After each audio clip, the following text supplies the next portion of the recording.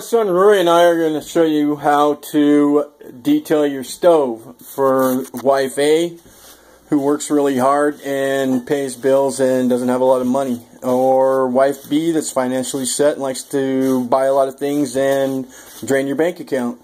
Um, we're going to show you how to put it back into shape where it's looking good. So what we started with is taking the greaser and cleaning the top of the stove the best we could, besides the buildup around the burners, where the burners go, as you can tell. We took uh, the burner plates out and the burners, and we got them soaking in the sink. This is pretty much what they looked like before. They're all dirty and build up and everything. took some cutting pound, compound and then uh, some polymer sealant and uh, polished this out at about 1,000 RPMs. Uh, used a little bit of 320 wet sand on the bottom to get it a little cleaned out the best we could. Um, got it shined back up in decent condition. Now uh, I'm going to hand the phone over to Rory here while he explain to you how to polish out the stove. Um, you got some buildup around the burners right here. Um, you got some scratches in the middle and stuff. It uh, looks pretty gloomy. What we're going to do is we're going to take some cutting compound here and uh, we're going to put it evenly over half the stove at a time because it dries pretty quick and you don't want to polish while you're dry while it's dry. It's not really doing a lot of work. What it needs to be doing you want to polish it while it's uh, moist and, and able to cut. So we're going to do that half here first. I'm going to turn your polisher on this is a polish you can get at Harbor Freight. It goes up to 3,200 RPMs. I'm going to start out with cutting at 1,000 RPMs. Um, uh, you want to be careful and watch the edges. This machine does not have any trigger. It's just got an on-off button. If it gets jerked out of your hand, it's going to keep running wherever it goes.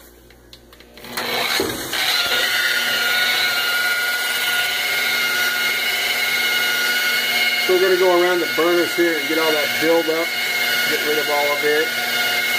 Try to. Okay.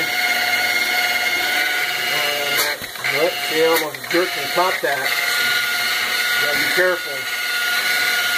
Okay, we got that burner done. We're gonna go on the edge now and get all that cleaned up and shined.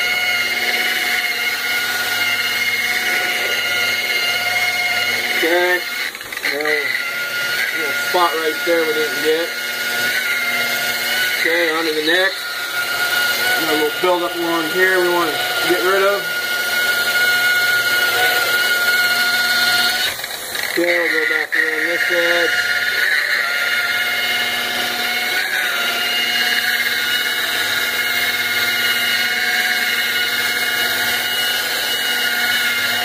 Okay. So, get that pretty much under control. Now we're going to go over here to the middle. A little more open over here. You're going to try to get rid of some scratches. If you want to jump it up to about 1500 RPM.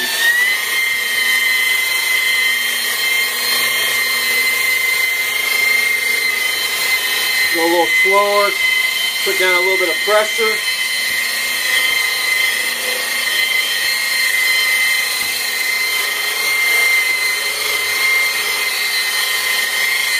We're about good. Along the front of it.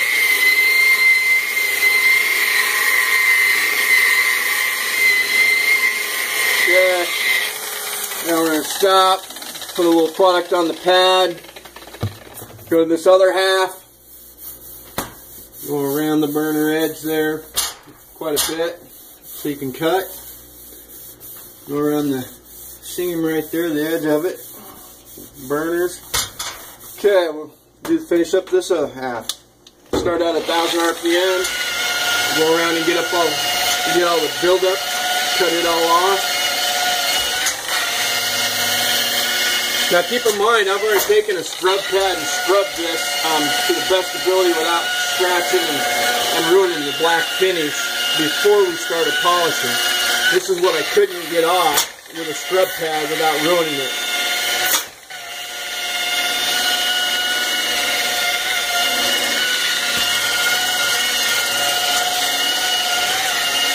Okay.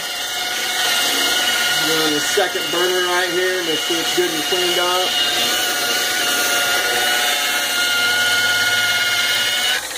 Alright. So now, Get this edge right here.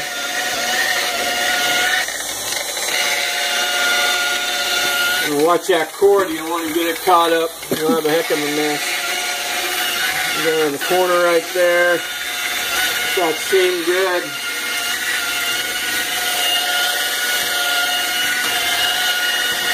Okay, got that good. Jump it up to 15 in the middle.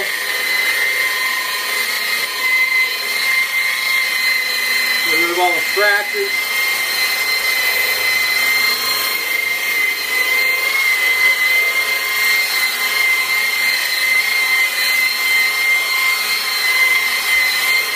Okay. Now we're going to take a microfiber. We're going to wipe it all off and inspect our work. Make sure we didn't miss anything. Now we still have a little bit of buildup right around the edge of these where the burner cups go and you got to remember you got about a 16th of an inch overlap so we're good to go right there. I don't think you're going to see anything. Um, but all the areas that are exposed, except for this little area right here, is good to go. We'll get that real quick.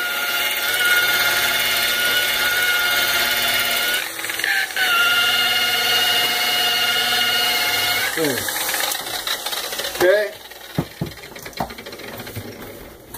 Now what we're going to do is I got a mixture of 50-50, 50% uh, polish, a mild polish, and then 50% sealant. We're going to put that on here real quick and apply it fairly fast. Basically all you're doing is getting the real light surface scratches and sealing everything.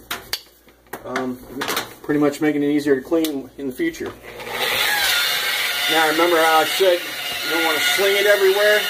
You got to angle that disc just right or you're going to get it in the and you're cooking right next to it.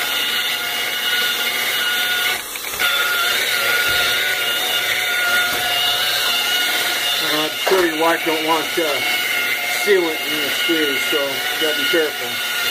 We're gonna jump this up to 2,000 RPM. And we're gonna warm it up so it goes into the pores of the paint on the stove. And you get a shine. This is what's gonna give you your gloss.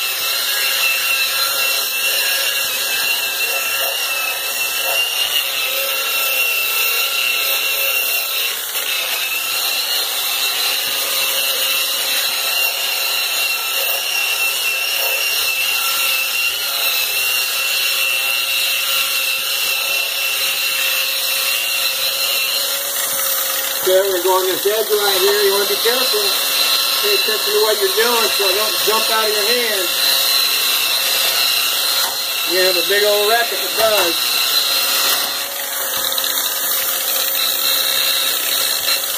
Okay, now we're going to come up here to the top. I'm going to turn this off for a sec. And we're going to polish around the face of this real quick. This is real soft plastic. So you don't want to apply any pressure, and you just want to do it really quick at about 1,000 RPMs. You want to rub some of that sealing in your pads so you don't sling it all over the ceiling. And we'll turn it on real slow here while it's already touching. Okay. We're just real gentle, real quick. You can pull scratches out of this fairly easy. Back into top shape, no problem.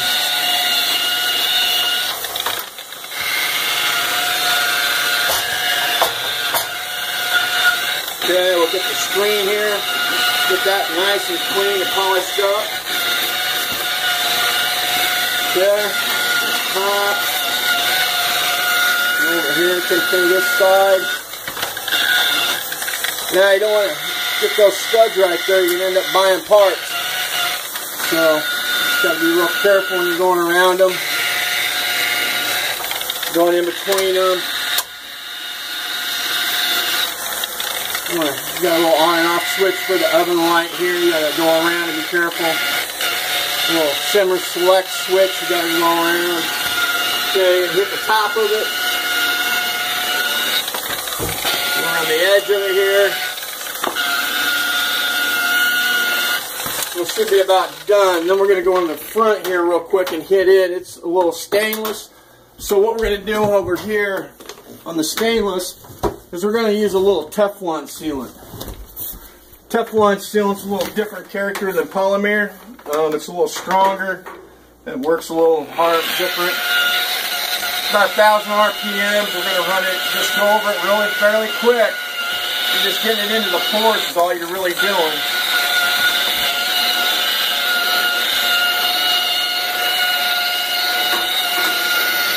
Okay, we're running up here. Now we're going to get underneath the handle carefully.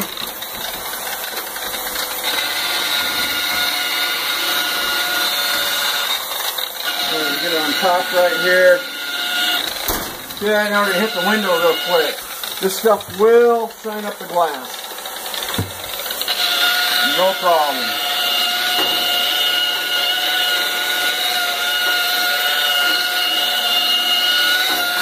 Okay. So, I'm going to go to the bottom section here and run over it fairly quick. Okay, I'm going to do the top of that handle. Get it nice and shiny. Now you're going to go on the bottom part of the drawer here. This is the part where you got to be careful of your cord. Okay? So you're going to just go underneath there like this. Go underneath the handle carefully. See how it almost caught and sucked me up under there? You just got to be really paying attention, man. You're to be buying a new stove instead of fixing it.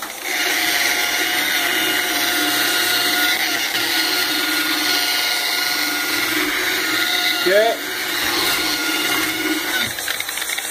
I think that's about it. Hit the top of this handle here real fast. Maybe the face of it.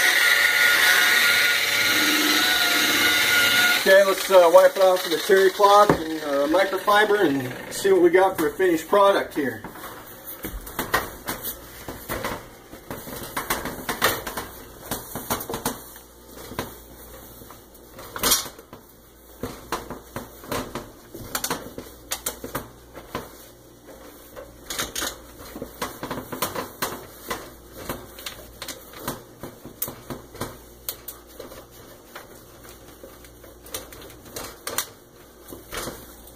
Okay, get the face done here.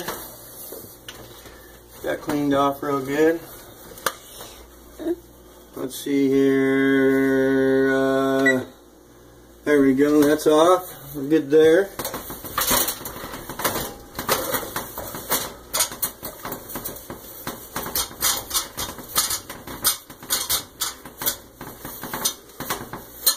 Okay, so we got uh, Top's looking pretty good.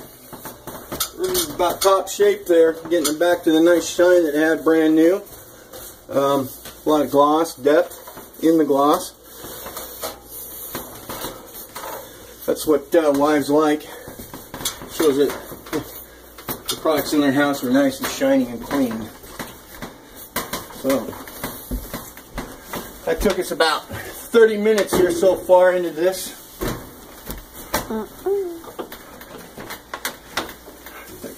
Counting, uh, putting the burners in the sink and the, the bowls for the burners that go underneath the burners there. And getting them scrubbed and cleaning the top of the stove off with the greaser before we started this video. So, there's the finished product.